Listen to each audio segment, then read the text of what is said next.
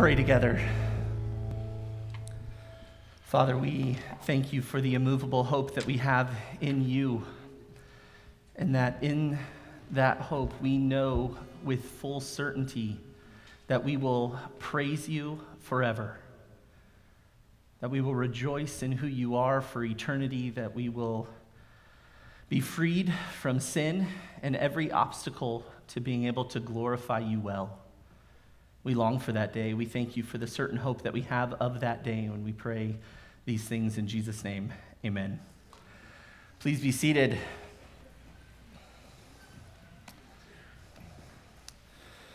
Well, we've been making our way uh, the previous weeks before Easter through a series that I have titled The Divine Provisions of a Good God. And if you're new or visiting, my family endured, uh, have been walking through a very significant trial since October 12th of 2020. On that Monday afternoon, we were vacationing at a family property, and as we were preparing to come home, we were loading up my truck, and um, I explained in more detail in the other sermons uh, what took place, but where I had thought my children had dispersed behind me, our youngest child, Caleb, who is five years old, had made his way in front of my truck. And as I pulled the truck forward to move it closer to the house, I inadvertently ran over my son, and he died in that moment. Our, our lives were changed dramatically in that moment. We had a world of sorrow that we never would have imagined. And yet, with that, we had a world of comfort and peace and joy that is inexplicable, except for in the Lord. If you know the Lord, it's, it's not surprising that He would grant to His children peace in the midst of turmoil, joy in the midst of heartache, contentment in the midst of tragedy. He's a faithful God. He is a good God. He is a benevolent God. He is a loving God, and that didn't change on that day it was actually expressed all the more personally and intimately and as we felt more deeply hurt and sorrow. And so we've been looking at together, we've been having the opportunity for, for me really, and as a reflection of our family, to share the ways that the Lord has cared for us in this season. The ways that His goodness has shined forth, the way that He has provided for us. And I could spend hours and hours and hours recounting all the many ways that the Lord has cared for us. In this series, however, I've really honed in on divine provisions, provisions that are unique to the believer. And there have been many ways that we have been cared for and served. And so, as I've said each week, I don't want to minimize or take away of the selfless love and the generous care that we've received from so many extended family and friends and neighbors have just poured out love and support. People we don't even know have poured out support and care for us. And those things are, are truly meaningful. Truly meaningful. But what I've been highlighting are the divine provisions of the Lord, things that are, that are particularly available for the Christian. And so the first week we looked at the Word of God and how God's Word has been a means of His grace in our life and sustaining us and upholding us in the midst of our sorrow and pain and hurt. And then last time we looked at the body of Christ, the local church, the local assembly of believers in Christ, all of you. And it was such a sweet gift to have an opportunity to boast in God's grace towards us through all of you. Well, this morning we're going to wrap up this series looking at the hope of eternity. The hope of eternity. And this is absolutely something that is unique for the believer. Only believers have this hope. And God's word has informed us and instructed us to know the gift of the hope of eternity. And so this morning, I really want to boast in the Lord, in what He has provided, in what He has done, and in what awaits each one of us who are in Christ. The week that Caleb passed away, we were vacationing together, and there were many wonderful memories. I've already shared some. I'd like to share a few others. We had an opportunity to um, process a deer. So we butcher our own animals. For some of you, that probably is gross. For us, it's fun. Caleb was a big cheerleader in that, and so we get the meat grinder out and we're working with all of it, and everybody's chipping in, and Caleb's standing up on a chair and putting bacon in the mix because that's how we do it. We do it right. We, we add some bacon into our grind. It's delicious. Invite yourself over for dinner, and we will have some together. Just wonderful memories, wonderful smiles, tremendous laughter together, precious memories. The Sunday before Caleb passed away, we took a, a trip. We, we frequently go out on our families side by side.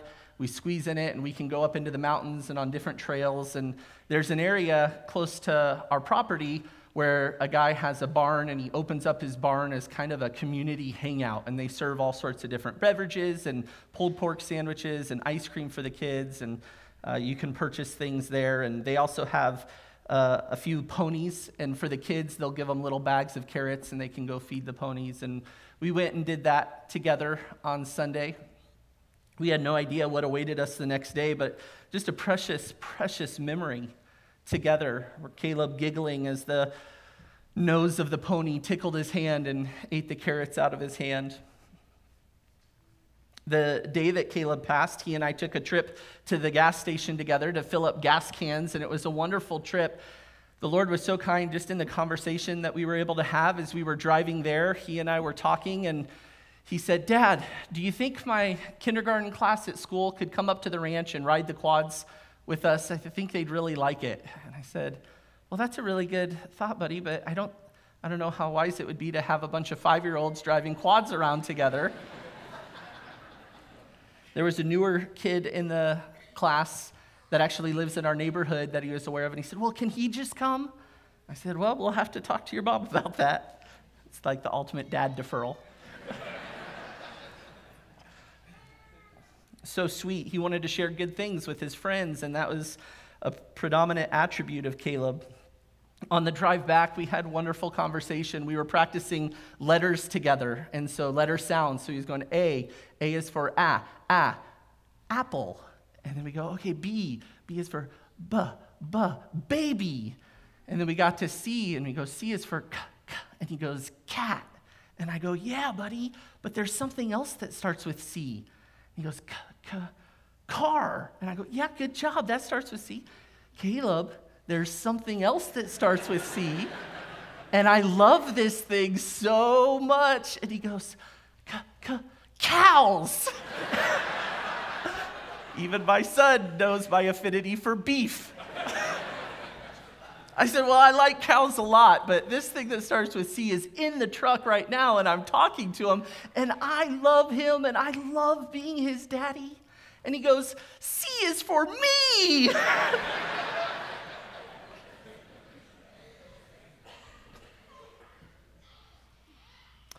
Just hours later, he'd pass. What a gift from the Lord. We, uh, took a little trip. There's a pond on the property. We took a little trip down to the pond to set out some cameras so that we could try to see what animals were coming into the pond. And Julie was working just really intentionally to clean up the ranch. And um, she paused her efforts and came with us. And we all piled into the side by side and drove down the little trail down to the pond. And it was our last trip together as a family. Again, we had no idea but these memories are such kindnesses of the Lord, these sweet, sweet joys that we were able to have together just moments before Caleb's passing. We had no idea that these would be our last moments as a family of six. And they are so precious to us. We look back at these sweet provisions, and there is comfort for us, and there is encouragement. And we thank God for such precious moments. But while these memories we look back to provide us sweet comfort, there is something that we look forward to that is far more precious to us, far more impactful, far more meaningful. And that's the hope of eternity. That's what we have in Christ. And this hope of eternity, this hope is not an uncertain well wishing. I hope this does or doesn't happen. No. This hope is certain. This hope is fixed. It's concrete. This hope is a looking forward to something with a, a confidence in respect to the fulfillment, a certainty that it will come to pass. It is a complete assurance regarding the future and the fulfillment of God's promises. This certain hope gives a, a great courage to remain unaffected by afflictions and struggles and hardships at a heart level because of what we know awaits us. And so when scripture says in Colossians 1 13 and 14, that he has rescued us from the domain of darkness and transferred us to the kingdom of his beloved Son, in whom we have redemption, the forgiveness of sins. And when we know Philippians 3 20 and 21, that says that our citizenship is in heaven, from which also we eagerly wait for a Savior, the Lord Jesus Christ, who will transform the body of our humble state into conformity with the body of his glory by the exertion of the power that he has even to subject all things to himself. And when we consider 2 Corinthians 5 21, that he made him who knew no sin to be sin on our behalf so that we might become the righteousness of God in him. And when we consider 1 Peter 1 3 through 5, that says, Blessed be the God and Father of our Lord Jesus Christ, who according to his great mercy has caused us to be born again to a living hope through the resurrection of Jesus Christ from the dead, to obtain an inheritance which is imperishable and undefiled and will not fade away, reserved in heaven for you who are protected by the power of God through faith for a salvation ready to be received in the last, last time, and countless other passages that attest to the same realities with precious, wonderful truths for the believer. We have a bold confidence in light of this. We have a hope of what awaits us because of the gospel. And I want to mention uh, again my outline is on the website. All of the passages that I'm referencing are there. You can go back and find those if you'd like. We have a hope in an eternity reconciled to God, and it is certain for the believer. There is a life beyond this one where there is no more sorrow, no more hardship, no more suffering, no more pain. Every tear will be wiped away, and this is a sure hope. What a gift from the Lord. What does this hope bring? It brings, it brings much, but this morning I'd like to highlight three benefits of the divine provision of the hope of eternity and how God has used this hope of eternity in my life, in Julie's life, in our family's life. And so this morning, the first benefit of this divine provision of the hope of eternity that I'd like to highlight is this this hope of eternity, it grants an eternal perspective. It grants an eternal perspective. When you understand the hope of eternity, it grants to you, it gives to you an eternal perspective, a perspective beyond this life. Turn to Romans 8. Romans 8. Go ahead and open up your Bibles. Turn to Romans 8. I want you to see this with me in just a moment. Mount Humphreys here in Arizona has a peak elevation of 12,637 uh, feet. And as you drive up to Flagstaff, this looks large until you stand near Denali, the highest peak in North America, which has a summit elevation of 20,310 feet. This seems large until you consider Mount Everest, which has an elevation of 29,032 feet, that seems high. That seems like a long distance until you hear that the moon orbits the earth approximately 238,900 miles away from the earth. That seems impressive. That seems like an astronomical distance until you consider the radius of the Milky Way galaxy, which is believed to be 52,850 light years across. At this point, we've moved well into things that are incomparable. To compare the summit of Mount Humphreys to the radius of the Milky Way galaxy is really not even a reasonable comparison. Well, there are things that are so disproportionate, they aren't worth comparing. I want you to see what Paul says two of these incomparable things are. Look at verse 18 of Romans 8.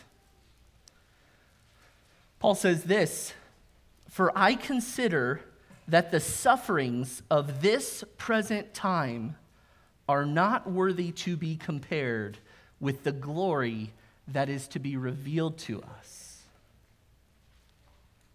What awaits the believer in eternity puts appropriate perspective to the moment.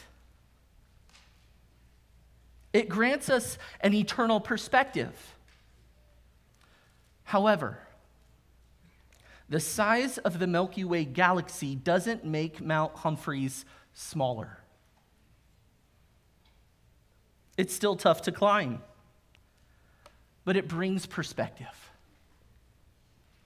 The hope of eternity, the, the glory that is to be revealed to us, is so grand when we see our Savior and we are made like him. When we are enveloped by God's glory and transformed and radiate His glory for eternity, whatever you are experiencing now is not worthy to be compared to what you will experience that day and for all eternity. The sufferings of this present time are in a different category, not even worthy of comparison. And yet, that doesn't make our trials not a trial. It doesn't make our pain not hurtful. But it brings appropriate perspective that is unique for the believer and precious for the soul. The reality has brought to us such a comfort and such a hope. The intensity of our pain is real and present. And this reality doesn't minimize that in any way, it accentuates what we have to look forward to in eternity. That is a gift from the Lord that brings perspective, eternal perspective to momentary issues and trials and sufferings and hardships. That where you are right now is not where you will always be. And so there is hope, a certain hope. The reality is, in the face of tragedy and trials, there are many temptations to place your hope and to seek out comfort, to desperately look for something to find peace in, or sometimes something just to escape the pain. And people get into all sorts of trouble looking to things outside of God for satisfaction of that hurt. Various sins, escapes, temporal, mundane things, trying to control your circumstances, trying to control people, People need to do this for me, then I'll be happy. People need to care for me this way, then I'll be served well, then I'll be content. I need something to get my mind off the issue, and you look and you try to fill it with anything, grasping for anything to help with the hurt because the hurt is real. But everything is like air slipping through the fingers except for Christ, except for the promises of God. He is faithful. He tends to the brokenhearted, He heals the wounded. One of those great means of his care for his people is what awaits us in eternity and the perspective that that brings to every moment of hardship. It brings it into perspective. Whatever is going on in your life right now that has been weighing you down, that has been burdening your soul, it is momentary and it isn't even worthy to be compared with what awaits you, believer. Oh, press on. Don't lose heart. Endure. Be faithful. I want to pull back the drapes a little bit on where that fight has taken place or took place for us early on. We had to work through what we believe about where Caleb went when he died. Did he go to heaven? Matthew 13, verses 18 through 23, Jesus gives an explanation of the parable on the seed and the sower. He says in verse 18, Hear then the parable of the sower. When anyone hears the word of the kingdom and does not understand it, the evil one comes and snatches away what has been sown in his heart. This is the one on whom seed was sown beside the road. The one on whom seed was sown, this is verse 20, the one on whom seed was sown on the rocky places, this is the man who hears the word and immediately receives it with joy. Yet he has no firm root in himself, but is only but is only temporary, and when affliction or persecution arises because of the word, immediately he falls away. And the one on whom seed was sown among the thorns, this is the man who hears the word, and the worry of the world and the deceitfulness of wealth choke the word, and it becomes unfruitful. Verse 23 And the one on whom seed was sown on the good soil, this is the man who hears the word and understands it, who indeed bears fruit and brings forth some a hundredfold, some sixty, and some thirty.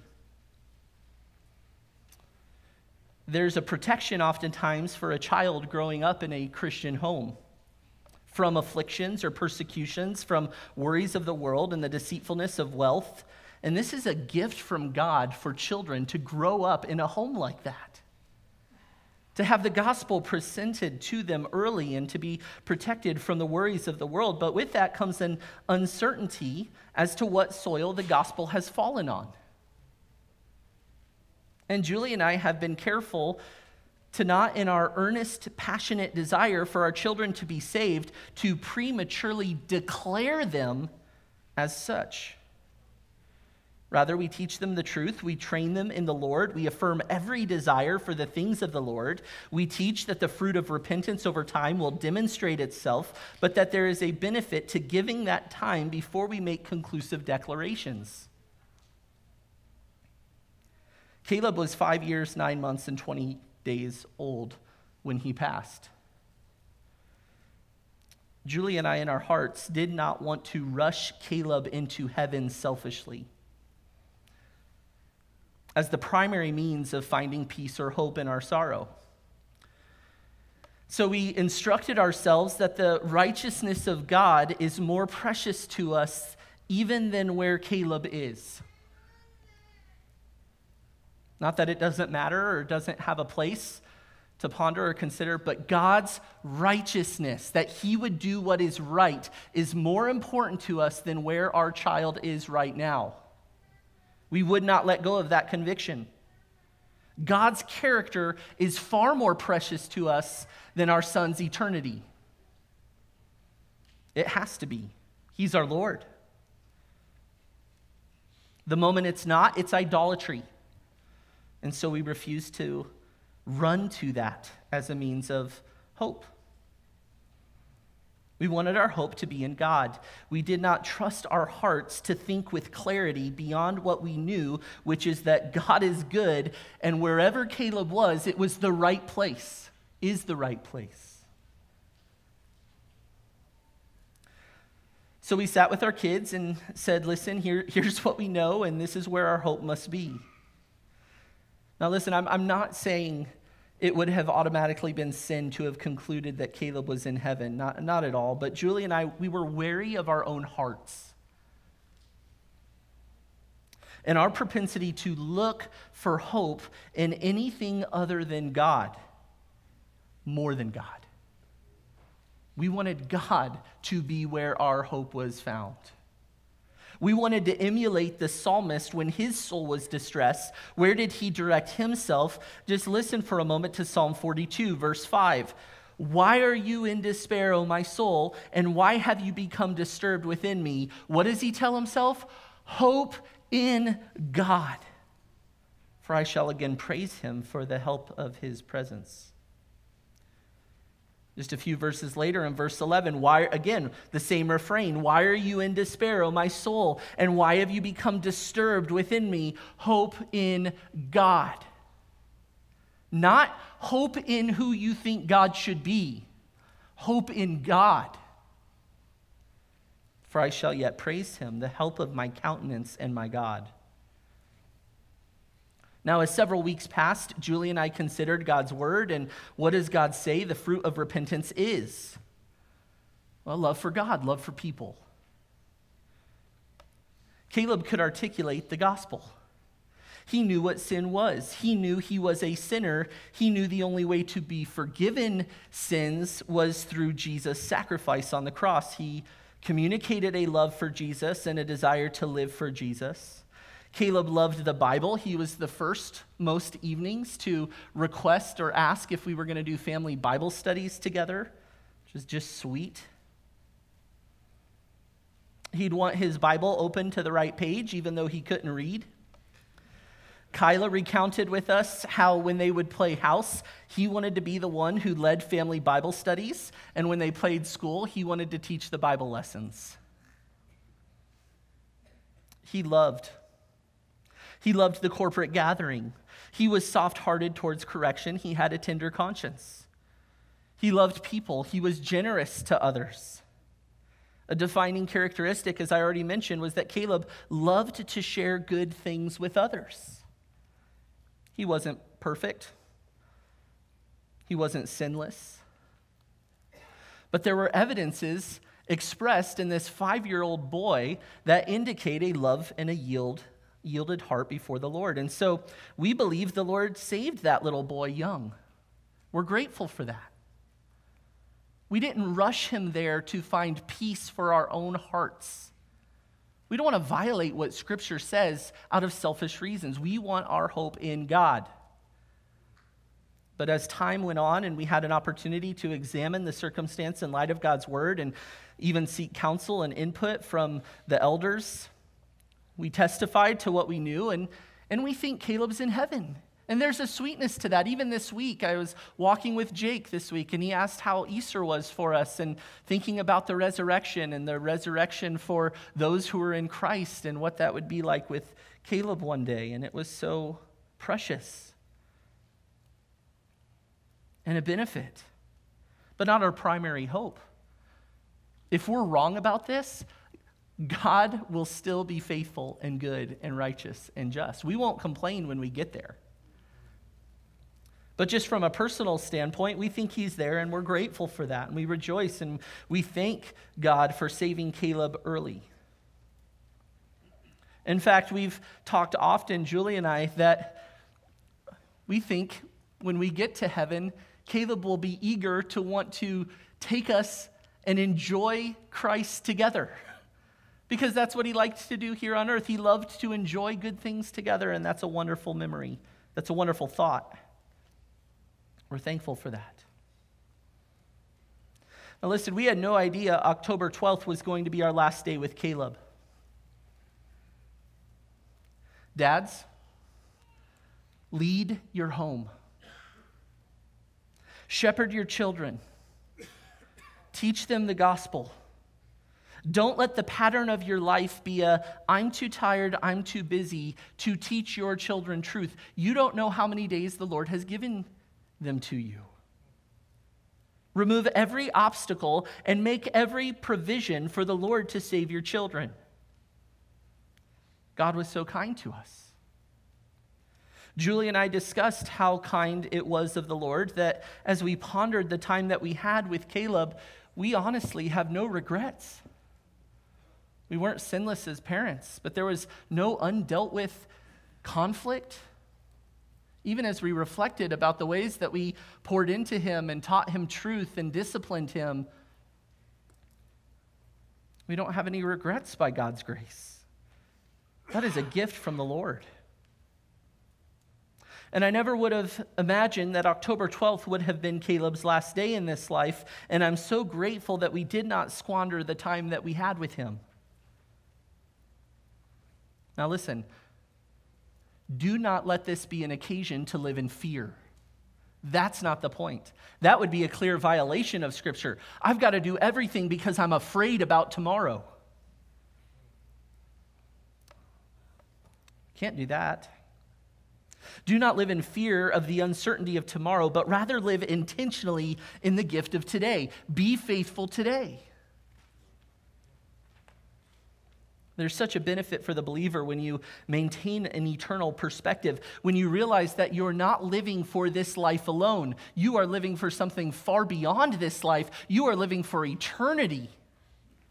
And that is a gift from the Lord that He has granted to you if you are in Christ. There have been many late nights, early mornings, moments of deep pain, and yet knowing that the suffering of this time and the hurt that we experience now whatever is hard, whatever is weighty, whatever you might be going through, which feels even at times overwhelming. How can I move forward? How can I go on? This hurts. This is hard. This is relentless. You can come back and you can say, What does Scripture say? What has God revealed? What is true in my circumstance? And that is that whatever I'm going through right now is not worthy to be compared to what lies ahead. This is a gift from the Lord, and it brings appropriate perspective, a right perspective to every circumstance in life as you consider each moment in the weight of eternity. I inadvertently ran over my son and killed him. I was God's providential means of bringing an end to Caleb's time in this life. Every day I feel the weight of that. And every moment of sorrow in missing Caleb is closely tied to the sorrow that I did it. Just to be honest, it is hard beyond anything I've experienced. And in all honesty, I've thanked the Lord because if someone had to bear this, I am glad it's me and not someone else. But it's brutal. But the perspective of eternity brings a comfort and a hope, knowing that as intense of pain, this is the there is a sweetness in what awaits us in heaven.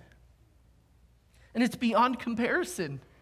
That doesn't make it easier today, but it brings appropriate perspective that is intense as the sorrow is. It's not even close, not in the same category of what God has made available to you in His Son Jesus, which you will enjoy for eternity. Thank you, Lord. The magnificence of heaven is, is that glorious, and every trial, every pain testifies to the glorious nature of heaven. Consider that for a moment. Every hardship testifies for the believer to the glorious nature of heaven.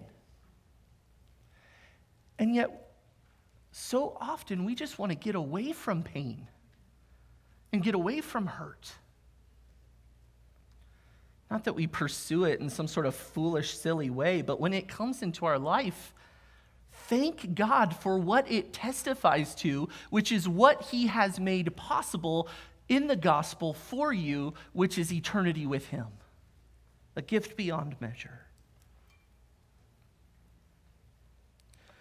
The first benefit of the hope of eternity is that it grants an eternal perspective. Next, number two, it motivates righteous living the hope of eternity, a right view of eternity, and an understanding of what awaits us who are in Christ motivates righteous living.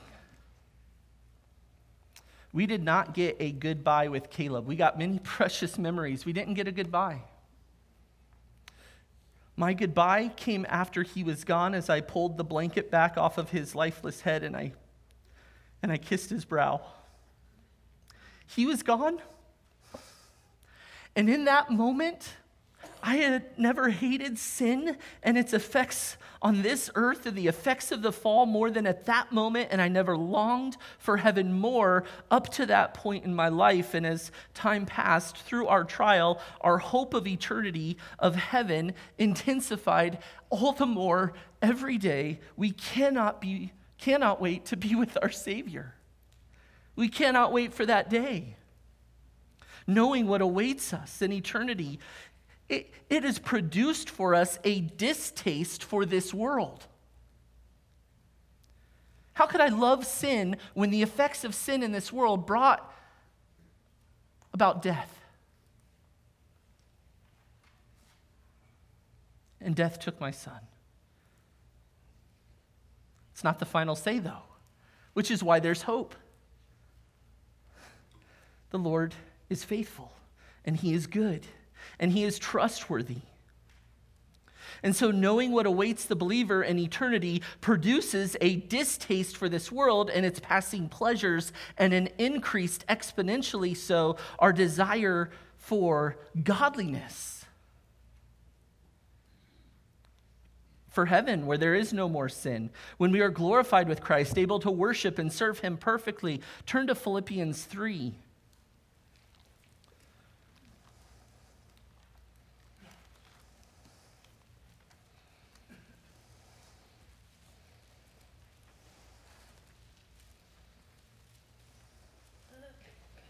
Paul could not wait for the day when he would be resurrected with Christ, when he would be glorified. Paul could not wait until he was done with sin.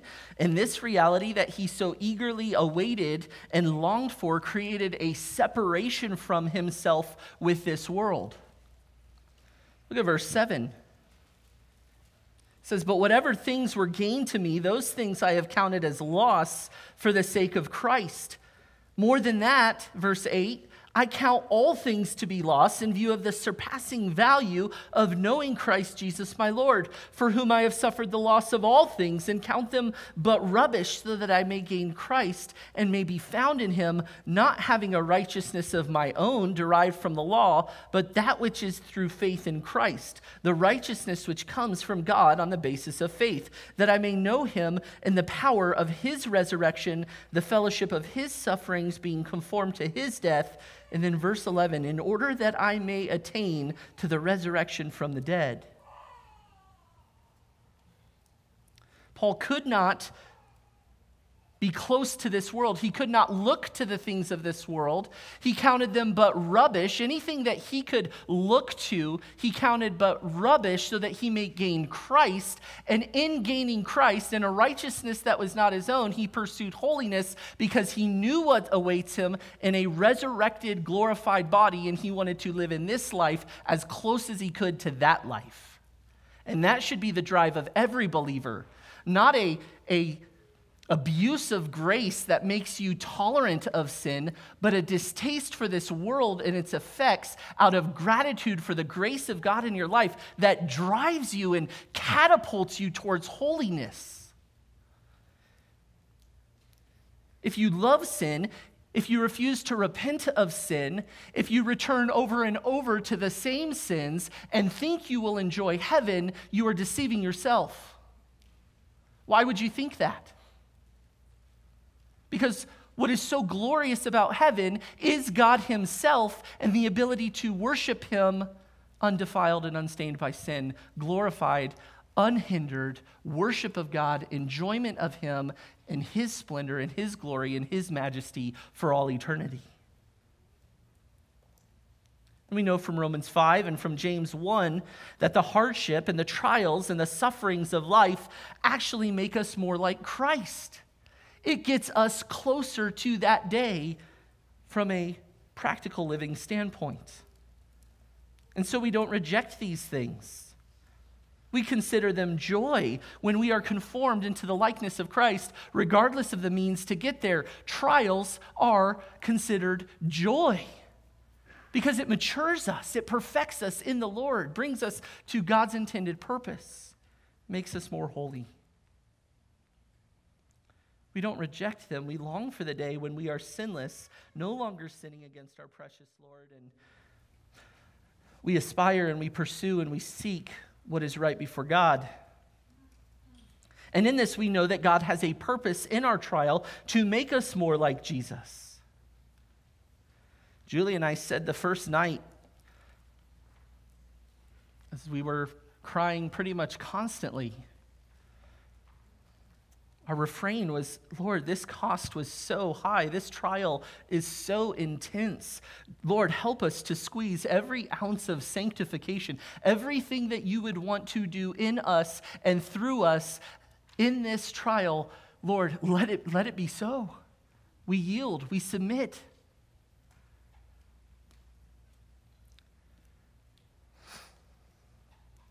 We also pleaded, Lord, you intend our good in this. Guard us from sinning against you. If we truly believe that God providentially brought this to pass, ordained this road for us, Lord, we trust you. We know you have good purposes in this. And so, Lord, by your strength, help us to yield to you. The Lord loves to answer this prayer. Job chapter 1, verse 22, after servant after servant has visited Job, and bad news after bad news is brought,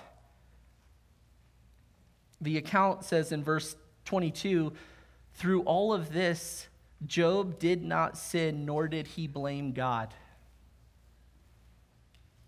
And that blaming is to ascribe unseemliness to God.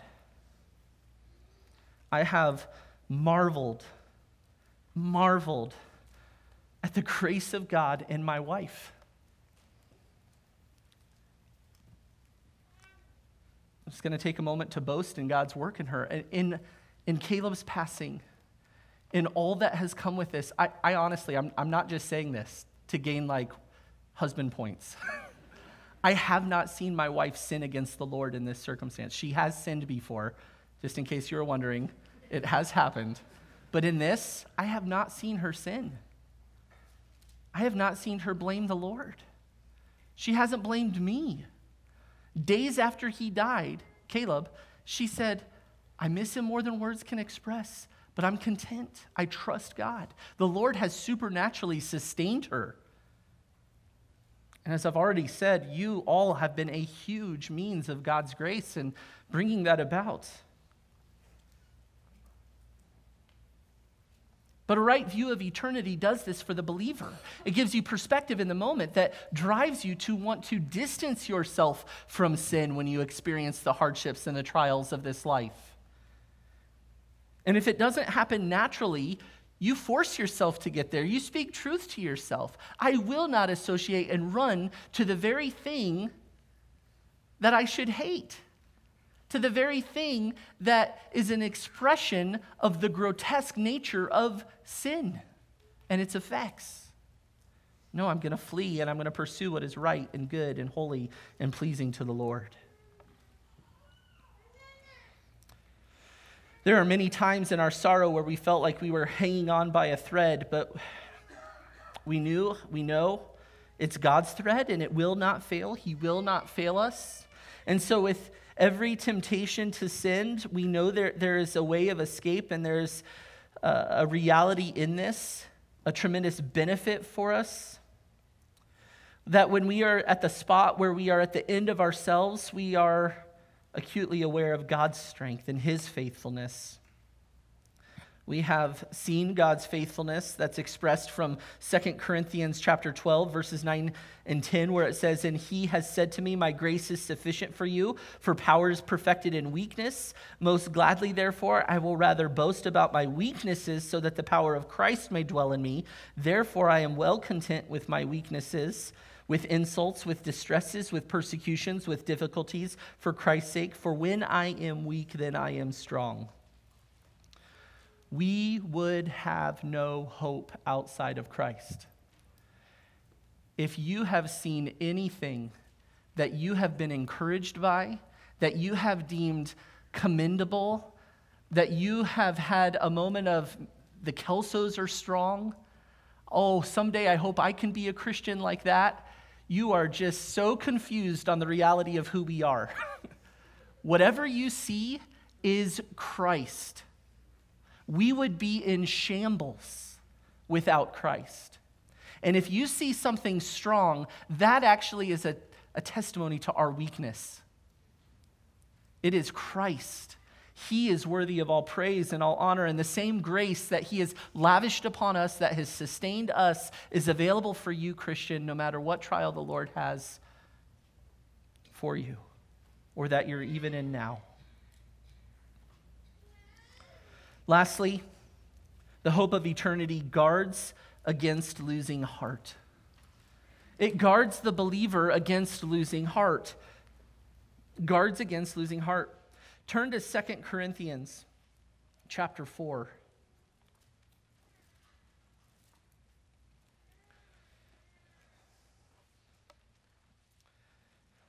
There is a profound reality that the Lord is intimately working through every single detail of our lives and every single hardship is doing something for us.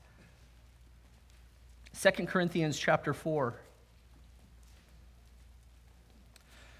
We're going to look at verses 16 through verse 18. It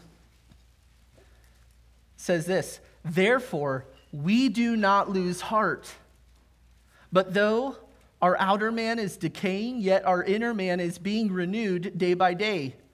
Verse 17, for momentary light affliction is producing for us an eternal weight of glory far beyond all comparison. Verse 18, while we look not at the things which are seen, but at the things which are not seen, for the things which are seen are temporal, but the things which are not seen are eternal. How easy would it be to drown in our sorrow if we did not know that our suffering has a purpose? There is a time where there is no more hardship, no more tears, no more suffering, but that time is not now. And every single hardship of this life is preparing us for the next. It bears weight into eternity. Every single moment of hardship, God is using it for something. Every time I grab six plates instead of five, Every time we miss the youthful energy of a five year old in our home, every time I get behind the wheel and have to address my own heart on fear, every speed bump that catapults me back to the moment, every family picture without Caleb, every trip to the store without my little buddy. Every time I accidentally say that I have four kids instead of three, I don't lose heart. I'm not undone by these things because they are doing something for me. It is producing something for me far more glorious than the intensity of any pain of any moment.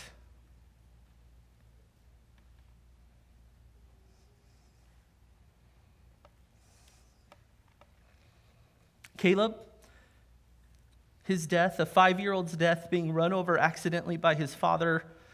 Nobody saw it. In the middle of the mountains of Arizona was not meaningless. It wasn't a random event, a tragic accident. His death was not in vain. God is using it in a myriad of ways. He has been so kind, so generous to so quickly let us see how He has been using it. And Julie and I have marveled at that and said, if God didn't let us see one fruit of this circumstance, He would be no less wise, no less good, no less just, no less loving, no less righteous. And yet He has been so generous to let us so quickly see the ways that He is using it. That is a kindness of the Lord.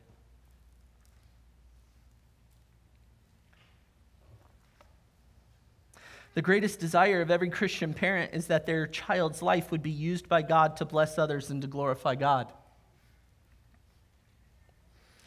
How could I complain about the duration of Caleb's life in light of the intensity of his influence for God's sake and for God's people's sake?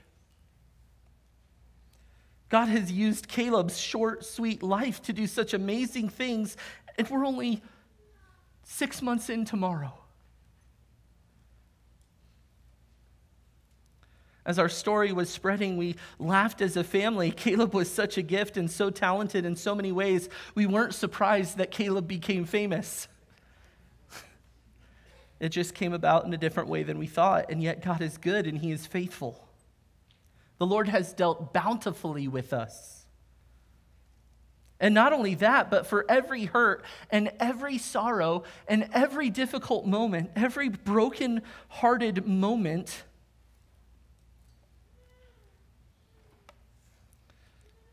Every hurt by Caleb's passing, God is using it for eternal benefit, for my eternal benefit, for my wife's eternal benefit, for you who have hurt with us, your eternal benefit. It is producing something for you an eternal weight of glory far beyond all comparison. Again, we see that the way that God uses temporal hardships produces eternally significant things that are completely disproportionate from a human standpoint. That's how good God is. In eternity, we will never for a second question if it was worth it because it is so disproportionately better than anything we would have chosen or could imagine. The glory of the next life is beyond all comparison to the suffering of this life. That just makes me so, so excited for heaven. We have hurt so deeply, and if this deep hurt is momentary and light and beyond all comparison, I can't wait to experience the rewards of heaven. Knowing God is using this for his glory brings a sweetness, not a bitterness, to the various pieces involved. It brings right perspective, right thinking about God, about our hardship, about our pain, instead of wanting to crawl under a rock, or instead of crawling under a rock when we want to do that. We say, No, I refuse to do that. The Lord has purpose in this, and I choose to be faithful. Lord, help me. This truth changes radically how you navigate the hard things. Hard is not bad. In every circumstance, there is a sweetness being near to our Lord and knowing He is sovereign and knowing He is good and knowing He is wise. Caleb's best friend in our neighborhood was over at our house a couple months ago, a little bit after Caleb had passed. He was over, came over, and he was playing with Kyla. Julie and I were in the kitchen in our house, and from the other room, we heard him laugh the laughter of a five year old boy, which was at one time so prevalent, had been absent from our home. And as we heard it, it was a bit jarring at first. Julie burst into tears, just Julie. I was totally composed. I know what she had heard and asked her, Would you like me to send our sweet neighbor boy home? To which she replied, No. Julie doesn't say much emphatically. Said, No, not at all. I love that little boy, laughter. I love that little boy, and I want him in our home as much as possible. My wife, by God's grace, understands the sovereignty of God. She is convinced of his wisdom and goodness. And so the hurt that accompanies God's providence is overshadowed by the certainty of his purposes and the unrelenting joy that is found in him. She has taught me so much. So if you have a boy around Caleb's age and have wondered if it was uncomfortable to, for us to be around him, or if it's been even uncomfortable for you to have him around us, because you're concerned that it might be hard for us in some way, we thank you so much for the consideration. We actually love it we miss that youthful, playful energy. And so we invite it. Maybe just give us a call first before you drop off your five year old and run.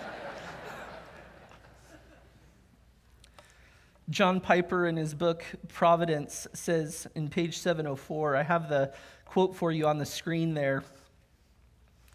says, For those who trust Christ, God's sovereignty in suffering is not an unyielding problem, but an unfailing hope. It means that in the suffering of Christians, neither Satan, nor man, nor nature, nor chance is wielding decisive control. God is sovereign over this suffering, which means it is not meaningless, it is not wrath, it is not ultimately destructive, it is not wanton or needless, it is purposeful, it is measured, wise, and loving. Even if the suffering is terrible, in the last hour of death, when there is no life left to which the sufferer can be sanctified by it, even then it is eternally purposeful. Whatever you are going through,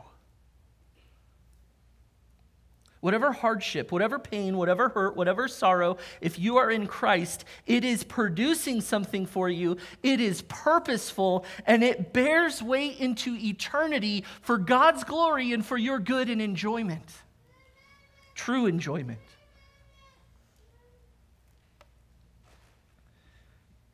Yet you only get this hope if you're in Christ.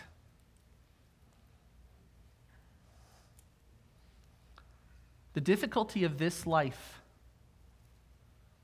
is also disproportionate to the wrath that you deserve and will endure for all eternity if you don't repent. Why would anybody ever not turn to Christ? I would plead with you turn to Jesus. And if you don't know what that means, if you've never done that, if you don't know what it means to be a Christian, I'd love nothing more than to talk with you about that. These divine provisions of our good God are not just for when things are catastrophic in your life. Every moment on this earth, they are resources for the believer, divine gifts from a loving God. Don't squander them. What have we learned? Don't squander these things. We didn't need them less before Caleb died and then need them more once he died. We need them desperately all the time. God's word, God's church, this hope that we have of eternity, a recognition of this life in comparison to eternity. Someday this life will be over like a vapor and, Christian, as you are enjoying sinlessness and you are basking in the glory of the eternal God, you will not regret one moment of this life's suffering or sorrow or hardship. You will not regret one moment where you yielded to the Lord in faith, where you refor- refused to dwell in self pity, where you denied your impulse to look to or turn to something other than God. You'll be forever captivated by your Savior.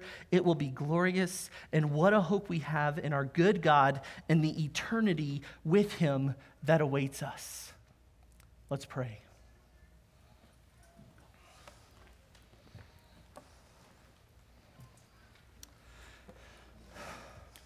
Heavenly Father, we thank you. Thank you for making a way where there was no way